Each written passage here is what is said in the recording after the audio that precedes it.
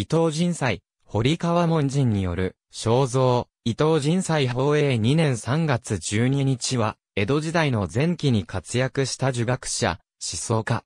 京都の生まれ。日常生活の中からあるべき倫理と人間像を探求して提示した。意味名は、はじめこれさだ、後いさだ。かなは、元吉、源、タスク、元七。屋号は、鶴屋七右衛門。人祭は号であり、死号は、古学先生。論語を最上四国宇宙第一の書と尊重した。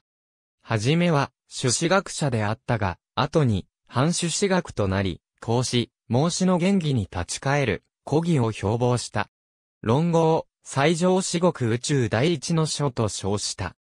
古義学を提唱し、主張として、論語古義、孟子古義、五文字義、中庸八記、同時門、古学先生文集などが挙げられるが、生前は講義と著述の整理、遂行に尽力し、著作を交換することはなかった。人祭の学問手法は、当時支配的だった朱子学的経典解釈を廃し、直接テクストを検討するというものである。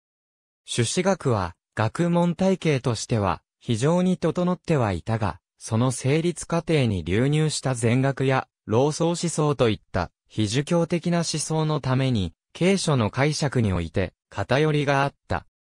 人祭は、そのような要素を儒学にとって不純なものとみなし、いわば実証主義的な方法を用いた。このような傾向は、同時代の儒学研究に共通に見られるものである。人祭は、朱子学の理の思想に反して、情を極的に価値づけした。客観的でよそよそしい理屈よりも、人間的で血液の通った心情を信頼している。四端の心や性善説を唱えた。ありがとうございます。